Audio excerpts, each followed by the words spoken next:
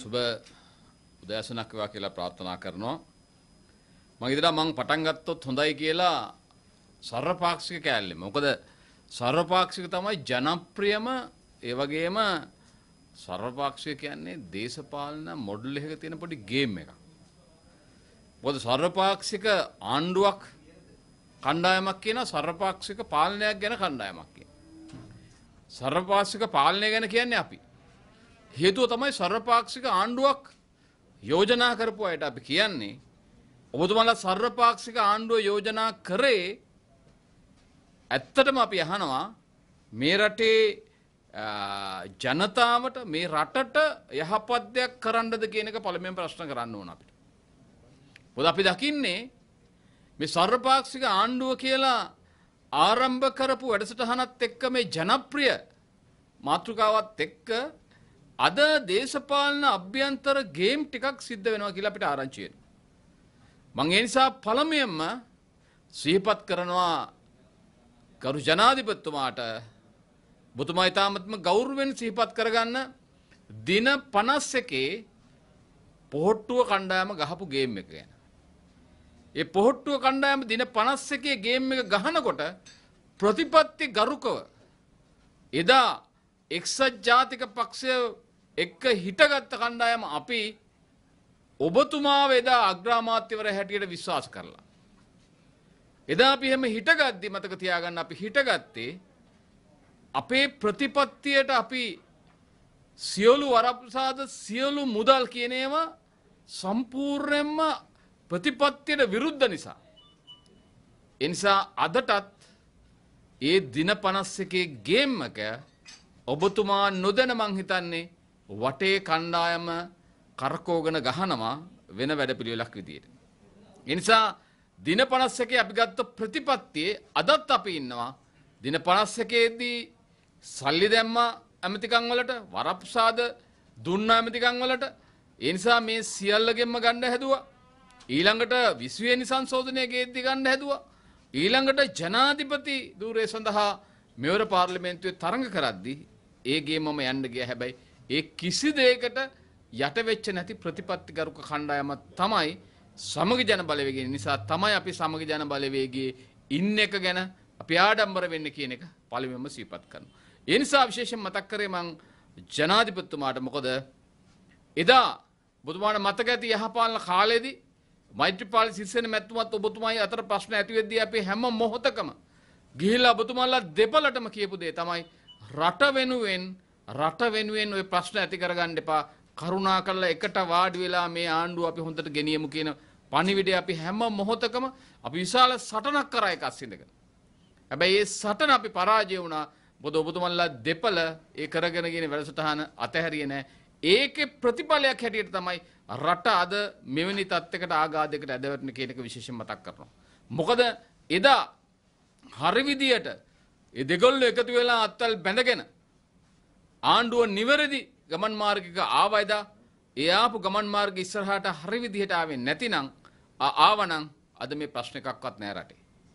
හැබැයි මතක තියාගන්න එදා මෛත්‍රීපාල සිරිසේන මැතිතුමා දින 51ේදී විශාල වැරද්දක් කරා සමස්ත රටටම. ඒ වැරද්ද නිසා තමයි විශාල වශයෙන් අපි පළුදුනේ. ඒ වැරද්දට යම්කිසි ශක්තියක් වෙන්නේ නැති අපේ පක්ෂේ සමහර කණ්ඩායම නැත්තම් එදා එක්සත් ජාතික පක්ෂ හිටපු කණ්ඩායමේ අග්‍රාමාත්‍යවර ඇතුළේ කණ්ඩායම යම්කිසි ඒ ඒ එතුමාට තීන්දුව ගන්න යම්කිසි සටනක් ඇතුළේ ඇතු වෙච්ච නිසා තමයි එහෙම තීන්දුව අරගෙන මේ පොහොට්ටුවේ කණ්ඩායම නැවත ගෙනලා මේ රට විනාශ කරේ. නිසා අද හැම දෙනෙක්ම පිළිගන්නවා එයාපාලන ආණ්ඩුව නිවැරදි ගමන් මාර්ගයක ඉස්සරහටම ගියා නම් මේ කිසිම දෙයක් රට වෙන්නේ නැහැ. එහෙනම් ඒ හානියට වගකිව යුත්තේ කවුද කියන එක ඉස්සෙල්ලා අපි සිහිපත් කරගත්තොත් හොඳයි. දැන් වැඩ පිළිවෙල ක්‍රියාත්මක කරන්න. ඒ නිසා අපි පැහැදිලිව කියනවා රටට මේ මොහොතේ විය යුත්තේ මොකක්ද කියලා අපි දැක්කා සමීක්ෂණ වාර්තාවක කියනවා 89.9ක් මේ රටේ සමස්ත ජනතාව ඉල්ලන්නේ මැතිවරණයක් මිසක් වෙනත් මේ ආණ්ඩුවක් කරන්න කියලා නෙවෙයි.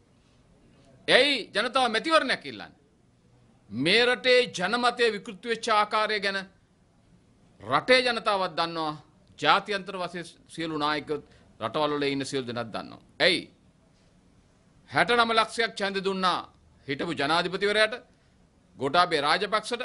ඊට පස්සේ හැටාට ලක්ෂයක් දුන්න චන්දේ මේ පොහොට්ටු ආණ්ඩුවට.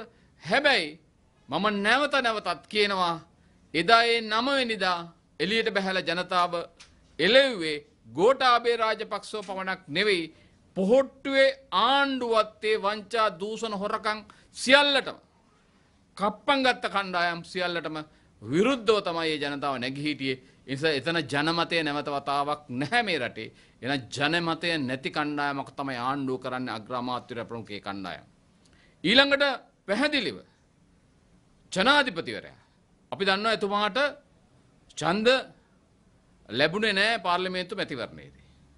හැබැයි එතුමාගේ වාසනාවතිමුණ රට්ට වැඩ කරන්න ඉන්සා මෙදාපාර එතුමා ජනාධිපතිතුමා වුණා. හැබැයි ඒ ජනාධිපති වෙද්දි මතක තියාගන්නුන කාරණාව එතුමාව ජනාධිපති කරේ පොහොට්ටුවේ කණ්ඩාය වෙන කාරණාවක් නිසා නෙවෙයි. එතුමාව ජනාධිපතිවර හැටියට පොහොට්ටුවේ කණ්ඩාය පත් කරන්න හේතු සාධක වුණේ පොහොට්ටුවේ කණ්ඩායම ඇතුළෙන් රාජපක්ෂලාට පිටිං වෙන කෙනෙක් ජනාධිපති හැටියට යෝජනා කරානං රාජපක්ෂ පවුලටම රාජපක්ෂ පවුල වට ඉන්න ජාවාරංකාරයන්ට නැමතවතාවක් මෙරටේ බලයගණ්ඩ බැරි නිසා තමයි පොහොට්ටු ඇතුළෙන් අපේක්ෂකයෙක් ඒගොලු ජනාධිපතිවරණයට යෝජනා කරේ නැත්තේ පාර්ලිමේන්තු ඇතුළේ. ඒ තමුන්ගේ රාජපක්ෂ පවුල දිගින් දිගටම ඒ ජාවරන් කට්ටියත් එක්ක මේ රට ඉදිරි අනාගතයේ ගිලගන්න ඕන නිසා තමයි මේ වර්ත්මන් ජනාධිපති රනිලික්කමසිංහ මැත්තුමාව පත්කරේ පාර්ලිමේන්තු තුළ ජනාධිපතිවර හැටියට.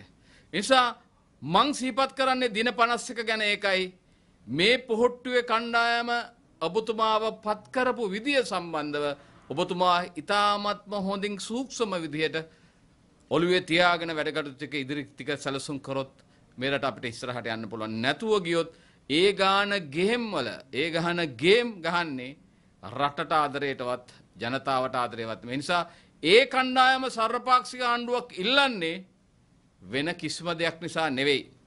ඒක ඒගොල්ලො කරපු පව් හොරකං වංචා දූෂණ මිනිමැරුම් මේ සියල්ලටම කප්පං වලට මේ පාර්ලිමේන්තුවෙන් අනි සියලු දෙනාම සහභායි කරගෙන ඒ අය සුදොනවේ අර වෙලා ඉදිරි කාලෙදි නැවතවතාවක් මහපාරට බහින්න පුළුවන් වාතාවරණය සකස් කරගන්න තමයි මේ වැඩිබුල්ල ක්‍රියාත්ම කර. නිසා අපි ඉල්ලන්න එක නෙවෙයි.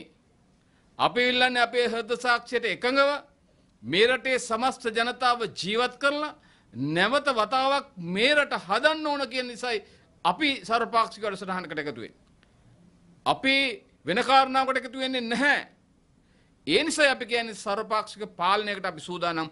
ඒ කියන්නේ ශක්තිමත් කමිටු හරහා කමිටු කියන්නේ කාරක සභාවල් පාර්ලිමේන්තුව තුල තියපුවම හැම අමාත්‍යංශයක හැම විෂයක් සම්බන්ධවම ඒ කමිටුව තුල සාකච්ඡා කරලා තීන්දුව තිරන ගන්න පුළුවන්. හැබැයි ආංශික අධීක්ෂණ කාරක සභා මෙතුවක්කල් පාර්ලිමේන්තුවේ පැවතෙද්දී ඒ කාරක සභාවලට බලයක් තිබුණ නැහැ.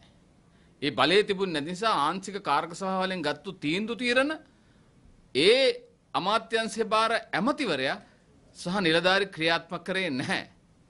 එතන වැරද්දක් තියෙනවා. එහෙනම් ඒ වැරද්ද වහාම නිවැරදි කරලා දක්ෂ හැම කෙනෙකුටම වාඩි වෙලා රට වෙනුවෙන් නිවැරදි යෝජනා නිවැරදි තීන්දුව తీරන නිවැරදි නිර්මාණ ඉදිරිපත් කරන්න අවස්ථාවක් පාර්ලිමේන්තුව තුළ කාරක ස්වභාව හරහා නෛතිකව පාර්ලිමේන්තු මන්ත්‍රීවරයාට ලබා දුන්නොත් එතනදී මේ හැම කෙනෙක්ම දක්ෂ ටික වාඩි වෙලා රට ඉදිරියට ගෙනියන්න අවශ්‍ය කරන වැඩපිළිවෙලට අවශ්‍ය කරන ශක්තිය ලබා දෙයි.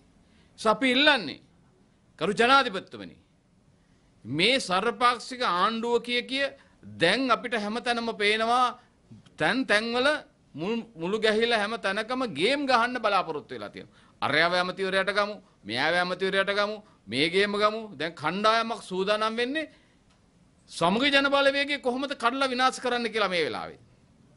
තව කණ්ඩායමක් අර ස්වාධීන වෙච්ච කණ්ඩායම් බලනවා සර්වපාක්ෂිකතාව දාලා කොහොමද ඇමතිකමක් කොහොම හරි අරගන්න කියලා. එතකොට පොහොට්ටුවේ ජනතාවට එපාම කරපු එලවන්න කියලා ජනතාව කියපු කණ්ඩායම උත්සාහ කරනවා සර්වපාක්ෂික ආණ්ඩුවක් මාර්ගෙන් ඇවිල්ලා ඇමතිකන් ටික අරගන්න. මොකද ඇමතිකන් ටික සර්වපාක්ෂික ආණ්ඩුවකදී වැඩි කරන්න පුළුවන්.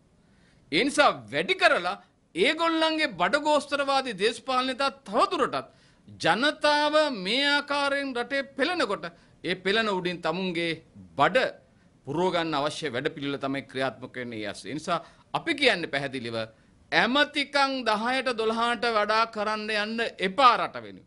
මොකද ඒක විශාල වියදමක් මෙච්චර කල් ඔය ඇමති පුටුවල වාඩි වෙච්ච එකෙක්වත් මේ රටට කරපු නිර්මාණයක් නෑ. අරගෙන බලන්න මේ පොහොට්ටුවේ ආණ්ඩුව කාලෙදි රටට කරපු එක ආර්ථික සමාජීය සංස්කෘතික නිර්මාණයක් තියෙනවද කියලා. අනුත් නිර්මාණ හඳුන්ලා දීලා තියෙනවද? අලුත් ආදායම් මාර්ග හදලා තියෙනවද? අපනයන ශේෂ්ත්‍රය වැඩි කරලා තියෙනවද? සංචාරක ශේෂ්ත්‍රය වැඩි කරලා තියෙනවද? විදේශ රැකියාව සම්බන්ධව හරි විදිහට තීන්දුව අරගෙන තියෙනවද?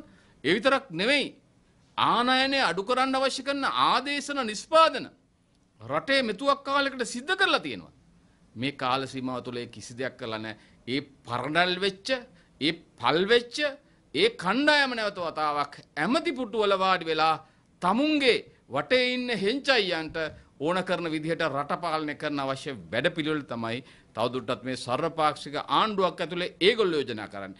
අපි යෝජනා කරන්නේ සර්වපාක්ෂික ශක්තිමත් වැඩපිළිවෙලක් යම්කිසි කාල සීමාවකට පක්ෂ නායකයෝයි මේ පාර්ලිමේන්තුවේ ඉන්න දක්ෂය හොඳ යෝජනා කරන්න පුළුවන් නිර්මාණ කරන්න පුළුවන් මිනිස්සු ටික ඒ සියලු දෙනා එකට අරගෙන වාඩි කරගෙන මේ රට අලුත් නිර්මාණ ටිකක් හදාගෙන මේ වැඩිච්ච වලෙන් නැවත ගොඩ වෙන්න අවශ්‍ය කරන වැඩපිළිවෙල හදලා ඉස්සරහට ගිහිල්ලා ඉතා ඉක්මනින් මැතිවරණයකට යන වැඩසටහන තමයි අපි සර්වපාක්ෂික වැඩසටහනක යටතේ විශේෂයෙන්ම ලබා දෙන්න බලාපොරොත්තු වෙන්නේ රටේ. ඒ නිසා අපි විශේෂයෙන් මතක් කරනවා මෙතනදී අපි මේ ආර්ථික වැඩපිළිවෙල කරද්දි මතක තියාගන්න දැන් ප්‍රශ්න ගොඩක් එනවා. දැන් ලයිට් බිල වතුර බිල අහස උසට යනවා ඉස්සරහා කාලෙදී. එතකොට දැන් තෙල් මිල ගැන අරගෙන බලන්න. දැන් IOC එක මාස 3ක් ඇතුළත බිලියන රුපියල් බිලියන 9.9ක ලාභයක් ගන්න. හැබැයි ඒ ලාභය ගන්නකොට අපේ කන්තල් නීතික සංස්ථාව හරි කන්තල් අමාත්‍යාංශය මොනවද කරලා තියෙන්නේ? කො මේ සල්ලි ටික තෙල් විපින විකුණපු සල්ලි ටිකවත් අද නැහැ. ඇයි ඒ? මොකද වෙලා තියෙන්නේ? මේක කන්තල් නීතික සංස්ථාව ඇතුළු මේ අමාත්‍යාංශය මේක සම්පූර්ණ හොර ගුහාවක් විතරක් නෙවෙයි වංචා සහගතව මේ වෙලාවෙත් අර එන නැව්වලින් පවා සල්ලි ගරාගෙන කන හොරකම් කරන තත්ත්වයට පත් වෙලාද. ඒ විතරක් නෙවෙයි තෙල් බෙදා හැරීමේ වැඩපිළිවෙල. අර බවුසරයක් ඇල්ලුවා අරගෙන ගිහිල්ලා බවුසරයක් ඇල්ලුවා තෙල් වෙනම විකුණන්න ගියා කියලා හොරෙන්. හැබැයි ඒ පරීක්ෂණ ඔක්කොම දැන් යට ගහන්න හදනවා. අඩු ගානේ විගණනය කරන නිලධාරි පවා එතන දූෂිතයි කියලා තමයි ආරංචි වෙලා තියෙන්නේ.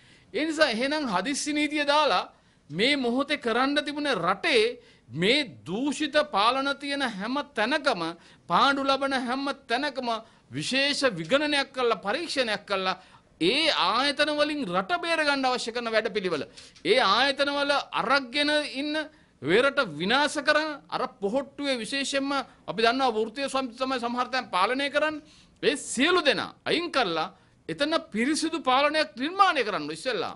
එතකොට තමයි මේ පාඩුව සහ මේ ක්‍රමවේදය සම්පූර්ණ වෙනස් කරලා අපිට අලුත් ක්‍රමවේදයක් තුන රට ඉස්සරහට ගෙනියන්න පුළුවන්. හැබැයි ඒක නෙමෙයි සිද්ධ කරන්නේ. කරන්නේ වෙනම කාරණාවක්. ඒ නිසා මතක තියාගන්න. පාර්ලිමේන්තුවේ 225ක් හිටියට මෙතුවක් කාලයකට පාර්ලිමේන්තුව තුල අපිට ඡන්දෙ දීපු ජනතාවට අපිට සාධාරණයක් ඉෂ්ට කරන්න බැරි වෙලා නැහැ. මොකද හේතුව අපිට පාර්ලිමේන්තුව වෙලා සමහරලාට කතා කරන්න අපිට විපක්ෂයක් හැටියට කතා කරන්න ආණ්ඩු පක්ෂයෙන් වෙලාව ඉල්ලනකොට ඒගොල්ලෝ වෙලාව දෙන්නේ නැහැ අපි අඬන්න ඕන වෙලාව ගන්න. ඒ වගේම තමයි විපක්ෂයෙන් අපි පාර්ලිමේන්තුවේ කතා කරන්න වෙලාව ඉල්ලනකොට අපිත් අඬන්න ඕන විපක්ෂය ඇතුලේ ඒ කණ්ඩායම් එක්ක මොකද අන්නලා තමයි අපි වෙලාව ගන්න. ඒක පුංචි වෙලාවක් අපේ අදහස් ඉදිරිපත් කරන්න තියෙන්නේ. අපේ යෝජන අපේ දක්ෂතාවය සම්පූර්ණ පාර්ලිමේන්තුව තුල මොට්ට කරලා තියෙනවා. ඒ නිසා මේ මොට්ට කරන එක අපේ හැකියාවල් සම්පූර්ණම මේ රටට ඉදිරිපත් කරන්න අවස්ථාව දීලා නැහැ පාර්ලිමේන්තුව තුල. ඒ නිසා ඊ අවස්ථාව හරියට දුන්නොත් මේ පාර්ලිමේන්තුව තුලින් හොඳ වැඩසටහනක් රට වෙනුවෙන් ක්‍රියාත්මක කරන්න පුළුවන්. ඒක තමයි අද විශේෂයෙන්ම කතා කරන්න බලාපොරොත්තු වෙන්නේ. මෙතනදී විශේෂයෙන් කියන්න ඕන අද හැම කෙනෙකුටම අපි දකිනවා මේ වෙලාවේ හැම කෙනෙකුටම ප්‍රශ්න තියෙන සමගි ජන බලවේගය. දේශපාලන කණ්ඩායම් සමාජ මාධ්‍ය ජාල හරහා එක් එක්කෙනාව අරගෙන ගහන මඩ ටික බලන්නකෝ. විපක්ෂ නායකට ගහන මඩ ටික බලන්නකෝ. දැන් මාර වැඩක් මේක. මේ පත්තුනේ ජනාධිපතිවරයෙක් වෙනම අගමැතිවරයෙක් වෙනම පත්තුනේ පාලනය කරන්න ආණ්ඩුව වෙනම කණ්ඩායමක්. විපක්ෂ නායකට බනින්නේ. විපක්ෂ නායකගේ හැකියාව ගැන කියන්නේ. විපක්ෂ නායකගේ හැකියාව දකින්න විපක්ෂ නායක මතක තියාගන්න තාම ප්‍රෙෂ් බඩුවක්. මොකද තාම මෙරට පාලනය කරපු නායකයෙක් නෙවෙයි. හැබැයි මෙතන පාලනය කරන අවුරුදු ගානක් තිස්සේ මේ රට පාලනය කරන කණ්ඩායම් හම්පඩ වෙච්ච මේ රටේ පල් වෙලා පල් වෙලා ඉස්සරහට ආපු කණ්ඩායමක්. ඇයි? ප්‍රෙෂ් මිනිහෙකුට මේ රට දීලා මේ රට කරන්න අවශ්‍ය කරන වැඩපිළිවෙල දෙන්න බැරිද? ඇයි එයා ගැන කතා කරන්නේ? එයා ගැන කතා කරන්න එයාට වැඩක් දීලා ඒ වැඩේ බැරි නම් එයා හැම මොහොතකම තමුන් දුන්න වැඩේ හරියට පෙන්නපු මිනිහෙක්. ඒ නිසා සජිත් ප්‍රේමදාසට ගහන්න අද මං හිතන්නේ ජාවාරංකාරයන්ගේ සල්ලි ටික එකතු කරගෙන මාධ්‍ය හරහා විශාල මෙහෙයුමක් සිද්ධ වෙනවා මේ වෙනකොට. අජනතාවට කියනවා මේ මෙහෙයුමට විතරක් අහු වෙන්න එපා.